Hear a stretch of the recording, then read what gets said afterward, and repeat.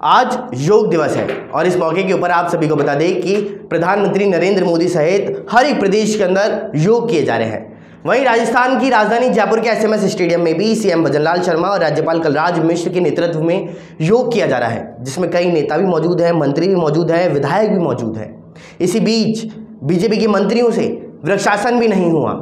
जी हाँ उनका पैर स्लिप हो गया और इसी के चलते हुए उनका वीडियो अब जम करके वायरल हो रहा है। तो दिखाते ये स्पेशल रिपोर्ट में।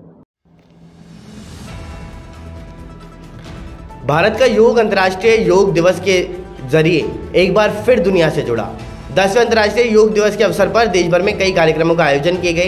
प्रधानमंत्री नरेंद्र मोदी ने खुद श्रीनगर में आयोजित अंतर्राष्ट्रीय योग दिवस कार्यक्रम में योग किया। वहीं अंतर्राष्ट्रीय योग दिवस के मौके पर राजस्थान की राजधानी जयपुर के एसएमएस स्टेडियम में भी राज्य स्तरीय समारोह का आयोजन किया गया। मुख्यमंत्री भजनलाल शर्मा और राज्यपाल कलराज मिश्र ने राज्य स्तरीय समारोह में शिरकत की। इस मौके पर उप मुख्यमंत्री प्रेमचंद बैरवा के साथ ही कई जनप्रतिनिधि और पुलिस प्रशासन के अधिकारी भी मौजूद रहे।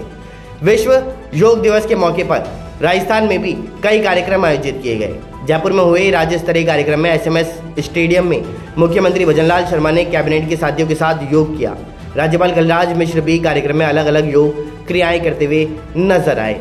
इसी के साथ साथ मंत्रियों से वृक्षासन भी नहीं हो पाया, इसका दृश्य एक बार फिर नज़र आया। फ़िलहाल देश और दुनिया की तमाम बड़ी खबरों के लिए इतना ही। बने रहिए हमारे साथ। नमस्कार।